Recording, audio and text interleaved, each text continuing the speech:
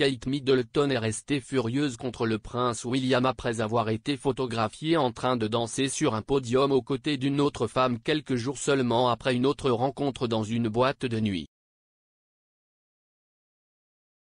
Le duc et la duchesse de Cambridge ont annoncé que Kate organiserait un service caritatif de chant de Noël à l'abbaye de Westminster la semaine prochaine. Ayant lieu le 8 décembre, l'événement sera télévisé avant Noël. Le rôle de plus en plus intégral de Kate et William au sein de la famille royale a également montré la force de leur relation. Plus tôt cette année, les Cambridge ont célébré leurs 10 ans de mariage. Cependant, ils n'ont pas atteint le jalon sans moments difficiles, comme le souligne un rapport de 2007. Il a affirmé que William avait été vu en train de danser sur un podium à Bournemouth, attirant l'attention d'une autre femme. Cela est arrivé quelques jours seulement après que des articles de journaux aient affirmé que William avait été vu en train de partager une étreinte avec une femme lors d'une soirée entre garçons à Bougie, à Londres. Le journal a cité un ami de Kate qui a déclaré que la duchesse avait envoyé un avertissement à William. L'ami a déclaré, Kate a dit à William qu'il la faisait mal paraître.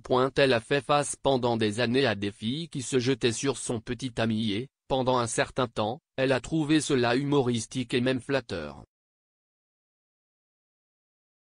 Mais après son récent comportement, elle lui a lancé un ultimatum et lui a dit qu'à chaque fois qu'il se comportait comme ça en public, il dépréciait son image ainsi que la sienne.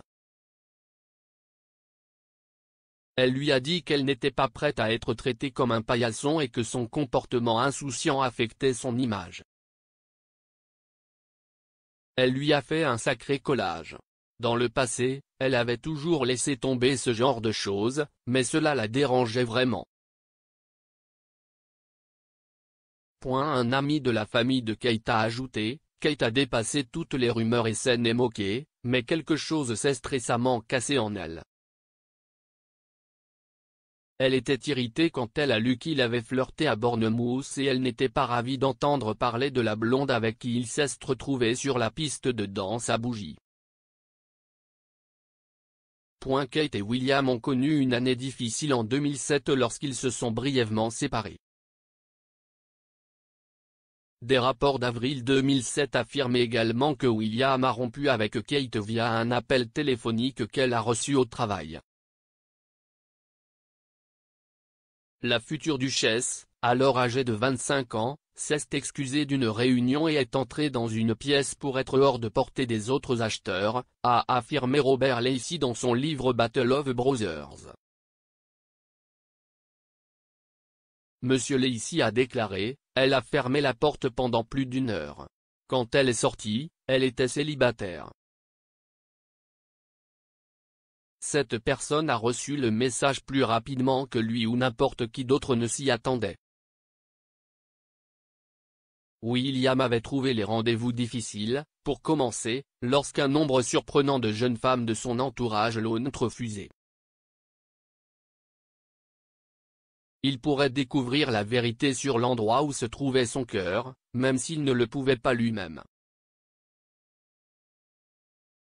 En 2010, William et Kate ont discuté de leur rupture, affirmant que cela les avait rendus plus forts en tant que couple.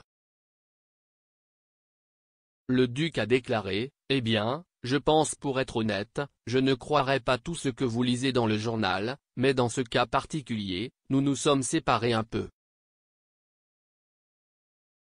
Mais c'était juste, nous étions tous les deux très jeunes, c'était à l'université, nous nous retrouvions en quelque sorte en tant que tels et étions des personnages différents et des trucs.